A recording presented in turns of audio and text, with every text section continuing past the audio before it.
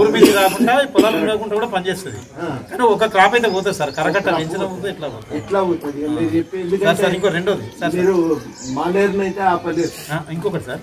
ఇప్పుడు ఏమవుతుందంటే సార్ ఇప్పుడు ఈ ఇక్కడ నుంచి నస్తూరువెల్లి మహాదేవ్పూర్ దగ్గర నుంచి ఇరవై ఐదు కిలోమీటర్ల దూరం నుంచి ఒక వాగు వస్తుంది సార్ పెద్ద వాగు అనేది. మన దామరకుంట మల్లారం మధ్యకెళ్ళి అది పోయి గోదావరిలో కలిసేది. దాన్ని ఏం చేశారు? కరకట్ట తేవడం వల్ల ఆ వాగును డైవర్షన్ చేసి కట్టెంబడి కట్టెంబడి కొంట పోయి అన్నారం దగ్గర బ్యారేజ్ అవతల గోదావరిలో కలిపింది సార్. అయితే బాగది పెద్ద వాగు ఇరవై ఐదు కిలోమీటర్ల వస్తుంది అడిగి నుంచి. మాది మాదేపూర్ మన వైపు నుంచి. పెద్ద వాగు దీనికి చిన్న చిన్న వాగులు ఇంకెన్నో ఉన్నాయి. అంటే ఇప్పుడు మన లక్ష్మీబారి దగ్గర కూడా మురిగేది ఈ వాగుతున్నాయి కదా సార్? లక్ష్మీబారి దగ్గర మునుగుతాయి కొన్ని పంటలు. అది కూడా ఈ వాగే కదా? అది వేరే. బ్యారేజ్ దగ్గర అక్కడ అంబడి అంబడిపల్లి దగ్గర? అది వేరే. పెద్దంపేట.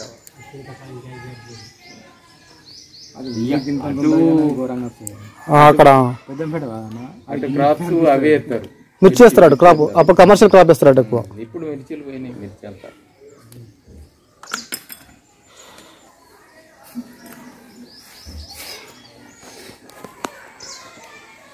ఈ కాళేశ్వరము ప్రాజెక్ట్ కింద కట్టిన మూడు బ్యారేజీలు కూడా మేడిగడ్డ అన్నారం సుందిల్ల.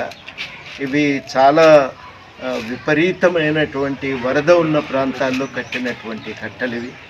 ఈ వరద ఉన్న ప్రాంతాల్లో కట్టిన ఈ కట్టల వల్ల ఇదివరకే కొంత బాగా నీళ్ళు వచ్చినప్పుడు మునిగేది. కాకపోతే ఐదేళ్ళకోసారో పదేళ్ళకోసారో అట్లాంటి వరద వచ్చేది. ఇప్పుడు జరుగుతున్న పరిణామం ఏంటంటే దాదాపు ప్రతి సంవత్సరం ఇక్కడ మునుక అనేది ఈ ఇటు ఒడ్డున అటు ఒడ్డున ఉంటున్నది. నాకు గుర్తున్నంత మేరకు ఇటు ఒడ్డుకు సుమారు ఆ పైన సుందిళ్ళ నుంచి ఇక్కడి దాకా ఒక పన్నెండు వేల ఎకరాల దాకా మునుగుతుందని చెప్పి పేపర్లో చదివినట్టు గుర్తు. ఈ విపరీతమైనటువంటి మునకను వల్ల రైతులు పెట్టిన పెట్టుబడి బాగా కోట్ల రూపాయల్లో నష్టపోయినారు. ఒక ఎకరానికి ముప్పై వేలు వరి పంటకు ఒక నలభై నుంచి యాభై వేల దాకా పత్తి పంటకు పెట్టుబడి పెట్టి వాళ్ళు మునిగిపోయింది ఇక ఈ రకంగా మూడేళ్ళు నష్టపోయిన ప్రభుత్వం నుంచి వచ్చినటువంటి పరిహారం మాత్రం శూన్యం. ఇప్పటి వరకు ఒక్క సంవత్సరానికి కూడా ఒక సంవత్సరం ఇచ్చినట్టున్నారు పరిహారం కొంతమందికి అది కూడా. నాలుగు సంవత్సరాలు క్రితం ఇచ్చిండ్రు. కానీ ఈ మధ్య కాలంలో మాత్రం ఈ మునకకు వీళ్ళెవ్వరికీ ఏ రకమైన సహాయం కూడా అందలేదు. దీనికి శాశ్వత పరిష్కారం వెతకవలసిన అవసరం ఉంది. శాశ్వత పరిష్కారం అంటే ఈ మునక జరుగుతున్న భూమికి వాళ్ళు సేకరించి ప్రభుత్వమే దానికి నష్టపరిహారం ఇచ్చి తేలినప్పుడు దున్నుకోవటానికి ఆ రైతుకు కావలసిన పట్టాలు కూడా తాత్కాలికమైన పట్టాలను కూడా వాళ్ళు ఇవ్వవలసి ఉంటుంది. ఇది వాళ్ళ తక్షణం జరగవలసిన కర్తవ్యం. ఇది కాకుండా ఈ మునకను తగ్గించటానికి కావలసిన విధంగా కరకట్టలను పెంచాలి. ఆ నదీ జలాల్లో ఉండే వినియోగానికి సంబంధించి జాగ్రత్తగా ఒక టైం టేబుల్ ప్రకారము ఈ గేట్లు ఎప్పుడెత్తేలే ఎప్పుడెత్తాలి ఎప్పుడు ఎప్పుడు దించాలనే విషయం పైన గవర్నమెంట్ ఒక విధానం తయారు చేసుకోవాలి.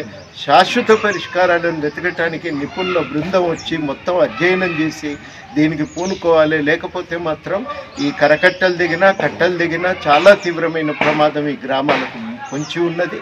అట్లాంటి ప్రమాదం ఏమో పెద్ద దూరం కూడా ఏం లేదనేది గ్రామస్తులు చెప్తున్న మాట.